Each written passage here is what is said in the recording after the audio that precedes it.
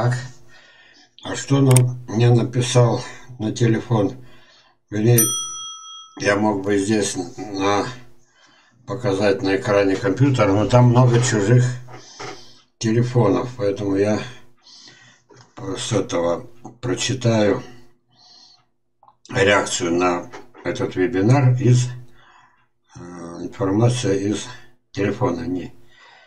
Так, Валерий Константинович, по мне такой этих рыб самец строит не брачная ложа, а детский сад.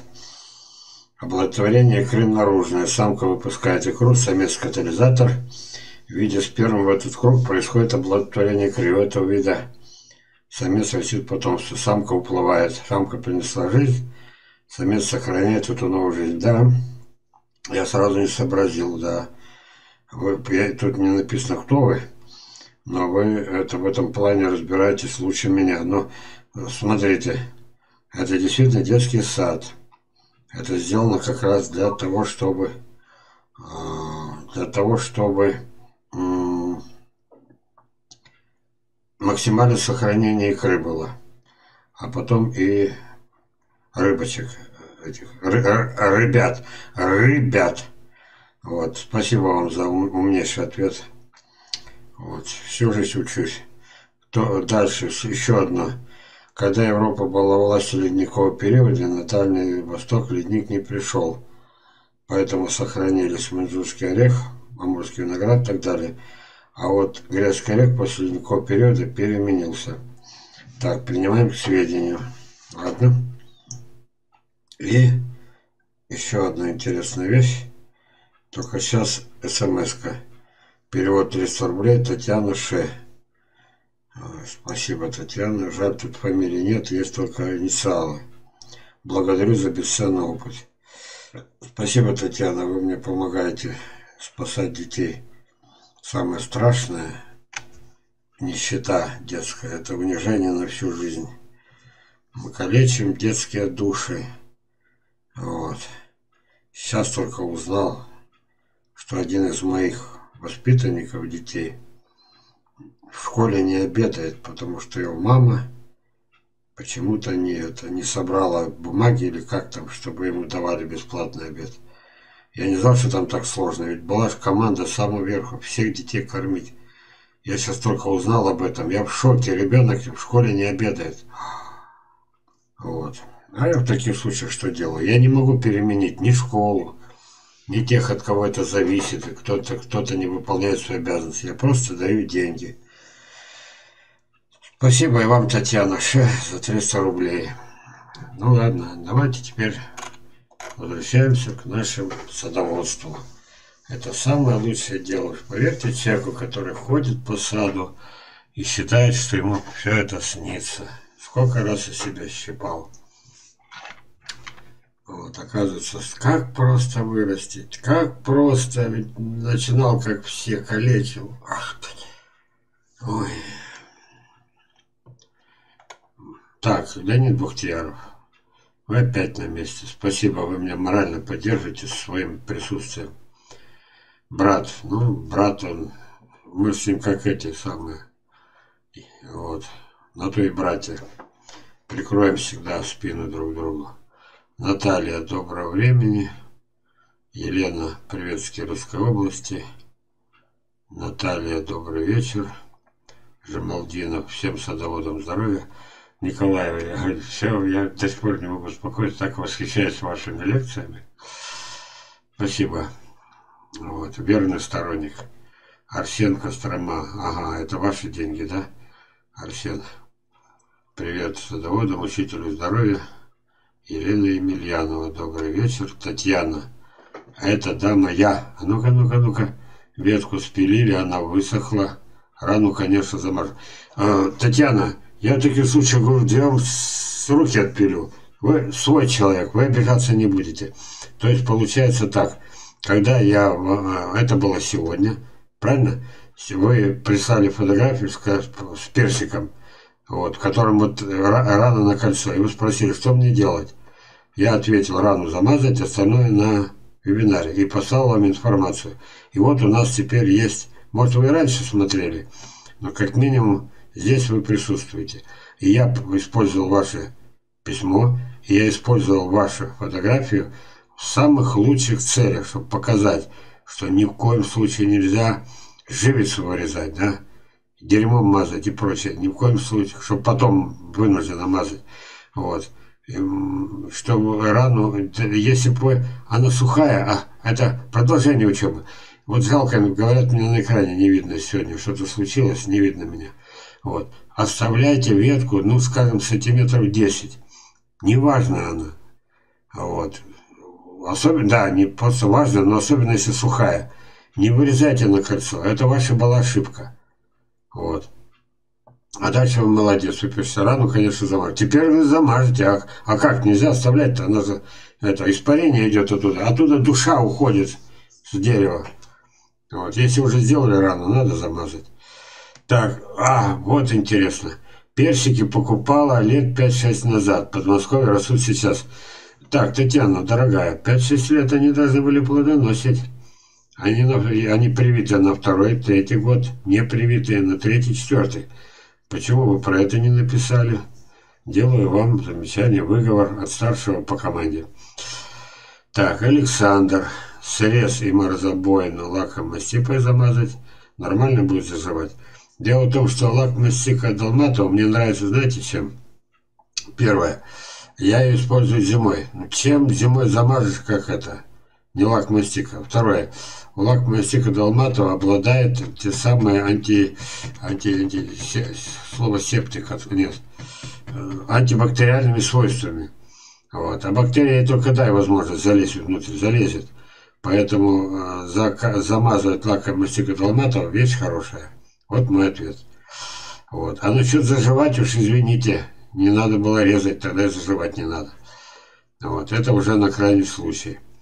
А я э, использую ее, он мне подарил, приходит зима, я беру э, вдвоем, я режу черенки на прививку, за мной идет помощник, у него в руках в одной руке кисточка, в другой баночка с лакмастикой, и эти торцы замазывает.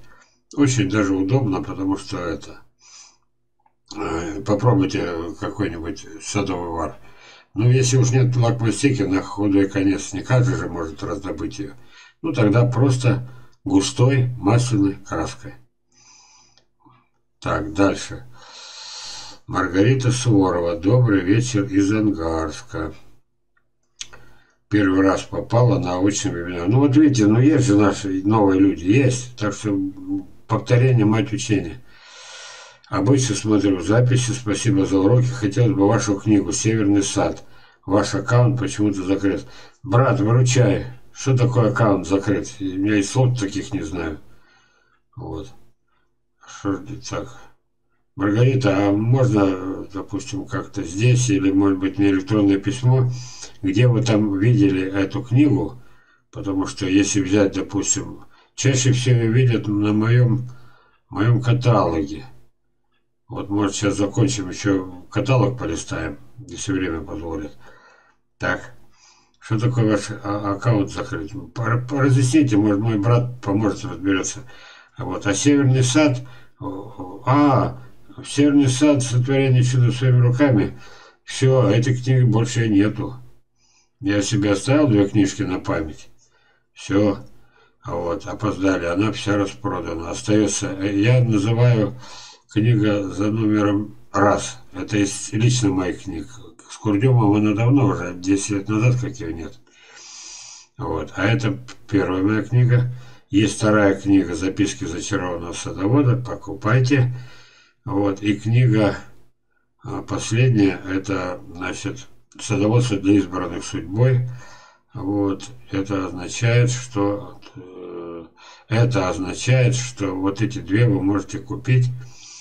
А, что такое закрытый аккаунт, я сейчас не знаю. Так, Кудымкар. Всем привет из Кудымкара. Вы взяли фамилию по... Ну ладно.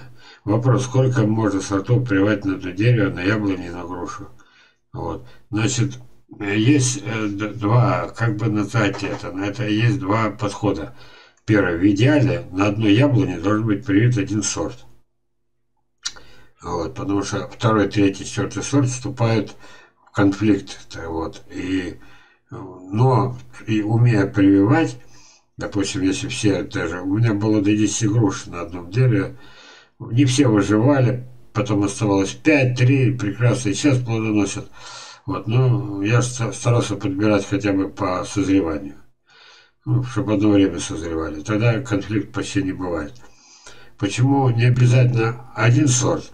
Ну, взяли на яблоню, там, привили, особенно если речь идет, смотрите, когда вы видите несколько сортах, ясно, что речь идет не о саженце, которым там полметра, метр, нет, вы говорите о скелетных прививках. Ну, раз есть несколько сортов, правильно? Вот. Но вы сделаете одну прививку, а дерево, допустим, вам уже не понравилось, а яблони или груши э, не нравится вам, только место занимает, а толку от него нет. Ешьте яблоки, ешьте груши и плюетесь, материтесь. Тогда получается, надо тыкать несколько, по принципу, что выживет, там посмотрим. Вот тут я, вот если дерево однолетнее, вот, двухлетнее, можно у самой земли привить, получить прекрасный саженец. Тут один к одному. Если с дерева несколько лет скелетнее, не бойтесь, тысячи несколько, по принципу, что выживет, то мое. А потом будем разбираться. А если вы на привете один сорт только, а он не приживется, год потерян. Ну, в общем, вы поняли, о чем речь. Так, Тоня, привет. Как я рад вас видеть, слышать. Из ваших семян яблонька трехлетка ушла в зиму с листвой. Весной ветки не проснулись. А я яблонька была какая? Дикая или культурная? Вот это. Так, ну наросли новая. А, новая. Сейчас опять не сбрасывают и может ситуация повториться. Можно сейчас что-то сделать? Ничего не надо делать. Жизнь сама научит. Вот, как пел Высоцкий. Пусть жизнь сама научит. Ну, там было про алкоголиков. Ну, мы тоже, мы садовые алкоголики, мы. Поэтому давайте так. Просто наблюдайте, ничего делать не надо. Так, Александр спрашивает, с какой яблони семена? Она отвечает, не знаю, садила смесь из семян яблонь от Валерия. А, так это а смесь это культурная. Вот, давайте так. Э, наиболее для каждого месте, кроме исторической родины, чем, это общее наблюдение, чем проще сорт, вот так, плебей, полукультурный, э, дикарь, вот, тот, который попроще, тем раньше они, э, тем лучше они готовятся к зиме. Самые роскошные сорта, значит, самые южные, а они могут, вот как у вас получилось, они могут не успевать войти в зиму, они сильно южные. Их историческая родина. Ой-ой-ой, помните, эта лесная красавица из Бельгии, помните, королевские из Франции. Ну что ты будешь делать? Да, что-то удалось. Вот Бай 50 лет уже, тут уже, уже так привык. Вот. Он никогда уже не уйдет с зелеными листьями. Но то, что вы сделали, вы взяли у меня смесь культурных э, семян. Вот. И у вас получается Зима, она с листвой. Это объективная картина. Это мои наблюдения. Я вам точно говорю, что или у вас рано или поздно адаптируется. Помните, какой у меня персик хасанский? Первый урожай. Ура! Плоды вот такие, знаете как? Теннис пинг-понга, вот такие вот. Ой, не могу показать, какие они мелкие. Не работает этот экранчик. Вот. С одной стороны. И еще и зеленые ушли в зиму. Вот с этого начиналось. Ничего, провозился 23 года, и вот результат. На Украине триумф, вот, в России в отдельных местах триумф, вот, да, Раиль? Вот. Так, теперь... Ну, еще сказал, то есть про, про это культурное яблони не успевают. Даже привит. А, еще почему мы прививаем? Это его немножко как бы сказать-то, вот привитая яблоня на дичок, на сибирку, привитая груша на дичок, на, манжу, на, на уссурику, абрикос роскошный южный, привитый на манжурский абрикос, фактически дикарь, да, вот, они принимают некоторые свойства от подвоя, и тогда в зиму уходят вовремя. Именно потому, что у них этот самый наставник ниже них. Вот, и влияет на их, в частности, влияет на своевременную подготовку к зиме. Ну, вот так вот. Ну что, кажется, мы закончили разговор. Ну вот. Я еще раз посмотрю, кто у нас тут в гостях. Так, может, с кем-то персонально поздороваюсь.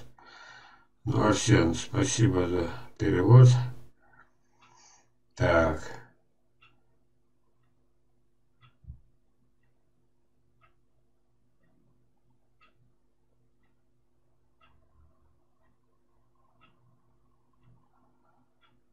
Ну что, ну пару, будем считать, что пара новичков есть. Маловато, но все-таки большая часть людей смотрят записи. Так что будем надеяться, что нас прибавится. Может сюда еще зайти ради интереса. Вот. Нет, тут самое интересное погоду посмотреть. Ну, вы представляете, хочу вам на погоду, пожалуйста. Что ты будешь делать? Ни одного минуса. Вот прогноз на ближайшие дни. Даже ночью. Мы не можем, а это чисто практический вопрос, то есть учеба продолжается. Мы не можем, Сергей не может, моя племянница Юля не могут отправить посылки. Вот. Ни лист не сбрасывается, не сбрасывается, не сбрасывается, не сбрасывается, не сбрасывается. Хотя бы ночью бы небольшой минус, уже бы листья бы начали жухнуть и отваливаться. Вот. Такое впечатление, что лето продолжается. Ну куда это придумать такое? Ночью 8, вот смотрите, послезавтра, да? Ночью 8, днем 18. Ночью 6, днем 19. Ночью 7, днем 20. А потом опять 19. Я, я это... Нет, я наслаждаюсь такой погодой. Но мне точит такая мысль, что э, все, все, все это все аномалии. Вот аномалии и все.